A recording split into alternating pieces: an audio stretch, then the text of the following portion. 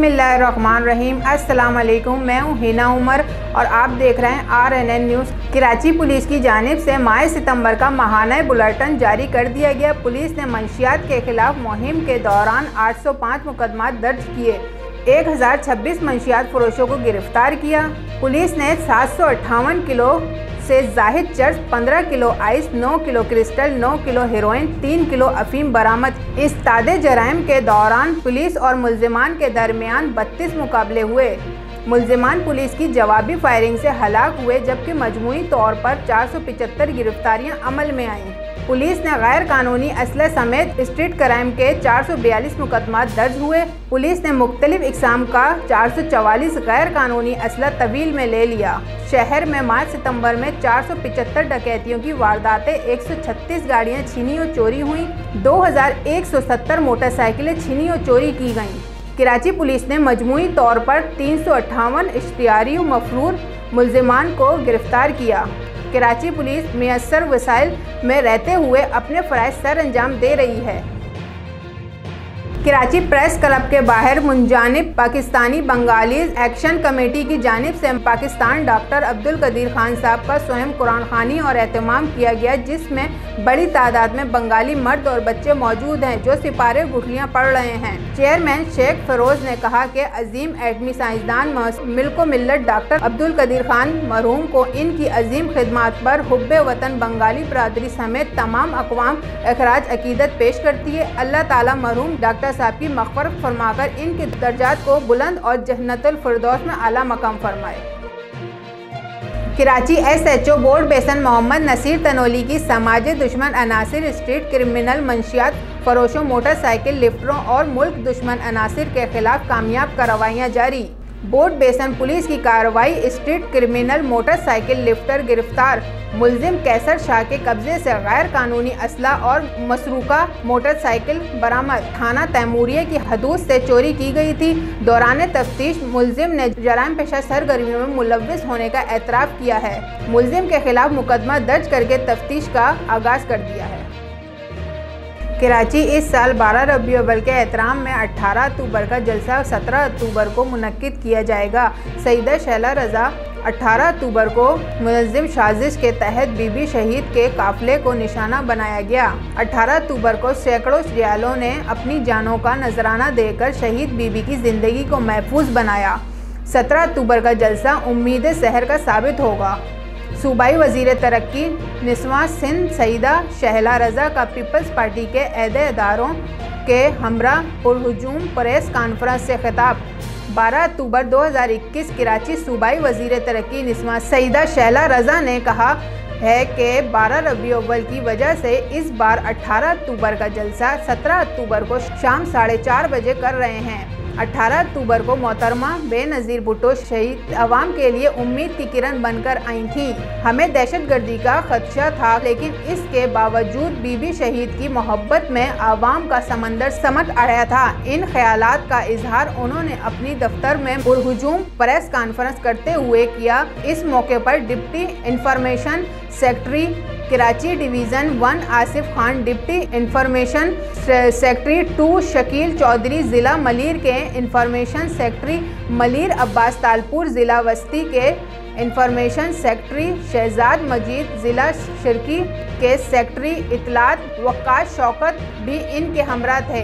उन्होंने कहा कि 18 अक्टूबर को तमाम सिक्योरिटी खदशात के बावजूद सड़कों को तरह अंधेरे में डुबोया गया। दो धमाके हुए। उन्होंने हमें अंधेरों में घेर कर सड़क पर निशाना बनाया गया। उन्होंने हमें कहा कि पीपल्स पार्टी के जियालों ने आगे बढ़कर अपनी लीडर को बचाकर सैकड़ों की तादाद में शहादत इख्तियार करते हुए एक तारीख रकम की।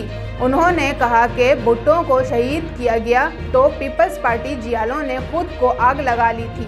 ये जियालों का जोश जुनून ही है कि जो आज तक जारी है, हम अपने कारकुनों की कुर्बानियों पर इनकी खराज तहसीन खराज अकीदत पेश करते हैं। उन्होंने कहा कि आज भी बीबी शहीद का बेटा आवाम की उम्मीद का सूरज बनकर उबर आया है। अभी हमने कश्मीर का इलेक्शन भी जीता है, जिससे वाजह है कि हमारा पैगाम जगह जगह पहुँच रहा है और यकीनन 17 अक्टूबर का जलसा भी उम्मीद शहर का साबित होगा। उन्होंने कहा कि रोज़गार देने वाला हालात बदलने का इदराक सिर्फ़ पीपल्स पार्टी को है। शहीद वर्कर्स के खानदानों को घर और नौकरियाँ दी। यहाँ तक कि बीबी आसवा भुट्टो मेरे साथ शहदा के घर भी गई थी। एक और सवाल के जवाब में उन्होंने कहा कि लियाकत अली खान से लेकर डॉक्टर अब्दुल कदीर खान तक लोगों की बेतुकरी की थी। डॉक्टर अब्दुल कदीर ने जाते जाते वज़ीर अला सिंह को ट्रिब्यूट पेश किया। डॉक्टर अब्दुल कदीर खान ने अपनी ज़िंदगी में शहीद भुट्टो को हर वक्त याद किया। डिस्ट्रिक्ट सेंटर के तमाम थानाजात ने तमाम हवाई जहाज़ थाने में लैंड करवा लिए। जनाब, एसएसपी डिस्ट्रिक्ट सेंटर के सख्त अहकाम पर तमाम थानाजात ने मंशियात के आदि अफराद को पकड़ने की मुहिम तेज कर दी। सैकड़ों हिरोनियों और चर्सियों को पकड़कर ईदी वेलफेयर सेंटर मुंतकिल कर दिया गया। नशे के आदि अफराद अपना नशा पूरा करने के लिए कार बैटरी, कार पैनल, तारें और गडर के ढक्कन तक चोरी करते हैं। एसएसपी डिस्ट्रिक्ट सेंटर ने इस मुहिम का आगाज़ किया और सख्त हदायत जारी की कि तमाम नशे के आदि अफराद को पकड़कर रेबुलटेशन सेंटर मुंतकल करें। जनाब, एसएसपी की डिस्ट्रिक्ट सेंटर के अहकाम मौसू होते ही थाना जात की फुर्तियाँ सैकड़ों नशे के आदि पकड़ लिए गए। कराची के लफ्टन ज़ियाद्दीन हॉस्पिटल के करीब कार सड़क के दरमियान तामीर शुदा बरसाती नाले में जा गिरी।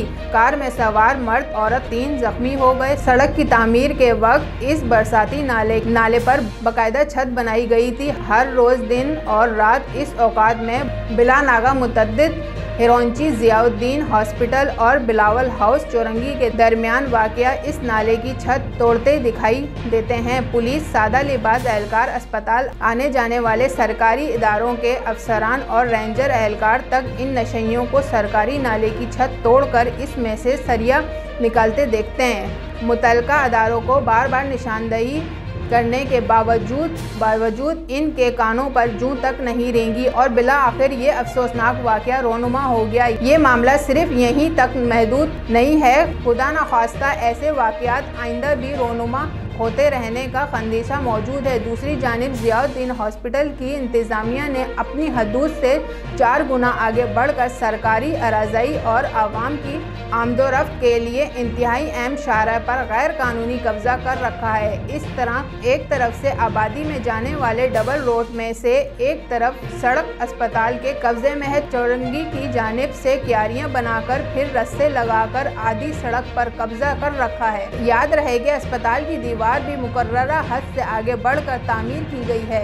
इसके नतीजे में कुछ फासले पर मौजूद अलहाज पेट्रोल पंप तक पैक पावर में सड़क के इस हिस्से में बदतरीन ट्रैफ़िक जाम मामूल बन चुका है, जिससे निकलते ही तमाम सवार ज़ाया होने वाले वक्त को बचाने के लिए तेज़ रफ्तारी की कोशिश करते हैं, जिसके बायस इंसानी जानो माल की शदीद खतरात में मुबतला रहते हैं। जियाउद्दीन हॉस्पिटल के बिल्कुल साथ जजिस रेस्ट हाउस वाक़ है, जहाँ आने जाने वाले मोजिज जज साहिबान भी इस सूरत हाल को देखते रहते हैं। अब सवाल यह है कि सुप्रीम कोर्ट ऑफ़ पाकिस्तान और देगर अदालतों के मोजिस और साहिब कुदरत जज साहिबान इस इंतज़ामी, नाहली और जियाउद्दीन हॉस्पिटल इंतज़ामिया की खुली बदमाशी और लाकानूनीत के ख़िलाफ़ कब ठोस और अमली इकदाम करवाते हैं।